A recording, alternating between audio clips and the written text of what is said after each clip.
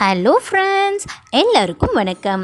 எல்லாருக்குமே கண்டிப்பாக ரொம்ப பிடிச்ச ஒரு டிஷ் அப்படின்னு சொன்னோம்னா அது உருளைக்கிழங்கு வறுவல் தாங்க. இந்த உருளைக்கிழங்கு வறுவல் ரொம்ப ஈஸியாக சிம்பிளாக செய்யக்கூடியது.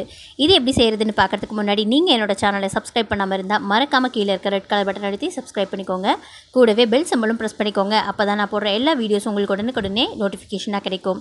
இந்த வீடியோ உங்களுக்கு பிடிச்சிருந்துச்சின்னா லைக் பண்ணுங்கள் ஷேர் பண்ணுங்கள் கமெண்ட் பண்ணுங்கள் இன்டர்நெட் ஸ்பெஷலுக்கு சப்ஸ்கிரைப் பண்ணுங்கள் இப்போ வாங்க வீடியோக்குள்ளே போகலாம். ஒரு பேனில் எண்ணெய் ஊற்றி சூடு பண்ணிக்கலாம். உருளைக்கிழங்க தோல் சீவி சின்ன சின்ன பீஸாக கட் பண்ணி ஆட் பண்ணிக்கலாம். நல்ல லோ ஃப்ளேமில் வச்சு உருளைக்கிழங்கு நல்ல ப்ரௌன் கலர் மாறுற வரைக்கும் நல்லா கிறிஸ்பியாக ஆகும். அந்த டை அது வரைக்கும் நல்லா வறுத்துக்கலாம். பாருங்கள் லைட்டாக கலர் சேஞ்ச் ஆகி ஒரு சில இது நல்லாவே ப்ரௌன் ஆகிருக்கு அப்பப்போ நல்லா பெரட்டி விடுங்க. மூடி வச்சு நல்லா வேக விடுங்க இந்த மாதிரி. நல்ல இந்த மாதிரி கலர் சேஞ்ச் ஆனதுக்கப்புறம் இதுக்கு கொஞ்சம் உப்பு ஒரு ஸ்பூன் போல் பெருங்காயத்தூள் அப்புறம் ரெண்டு டீஸ்பூன் மிளகாய்த்தூள். இது நல்ல காரமாகவே இருக்கும். இது கடை மிளகாய்த்தூளுங்கிறனால நான் கம்மியாக ஆட் பண்ணுறேன் நீங்கள் வீட்டில் மிளகாய்த்தூள் எப்படி காரம் இருக்கோ அதுக்கேற்ற மாதிரி ஆட் பண்ணிக்கோங்க. ஒரு அரை ஸ்பூன் மஞ்சள் தூள்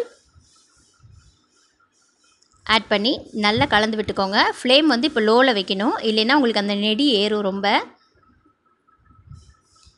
தேவைன்னா லைட்டாக தண்ணி தெளிச்சுக்கோங்க. மஸ் மசாலா நல்லா கோட் ஆகட்டும்.